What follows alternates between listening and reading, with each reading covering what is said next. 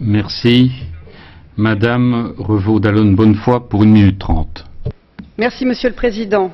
Monsieur le Commissaire et chers collègues, cela a été déjà dit, le chômage des jeunes est à un niveau record inacceptable.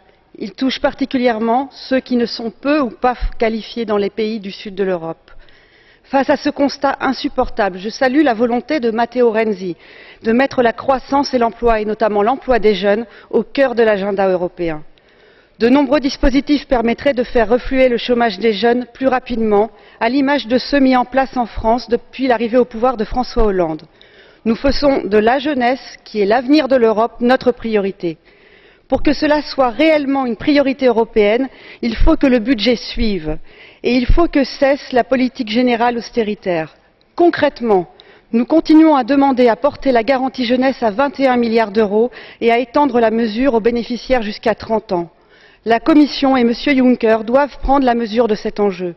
Le renforcement de la formation professionnelle à l'échelle européenne est également crucial. Le programme Erasmus doit être élargi aux apprentis, aux apprentis et le programme Leonardo doit être renforcé. La reconnaissance à l'échelle européenne de l'expérience professionnelle donnée par les stages doit aller plus vite. Il faut même aller plus loin, la mobilité étant un facteur important pour l'emploi des jeunes en définissant un cadre commun pour les stages et les formations professionnelles.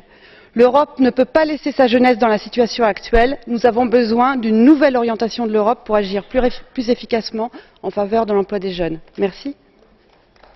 Grazie, onorevole Merci. Monsieur Mouressan, une minute trente. No.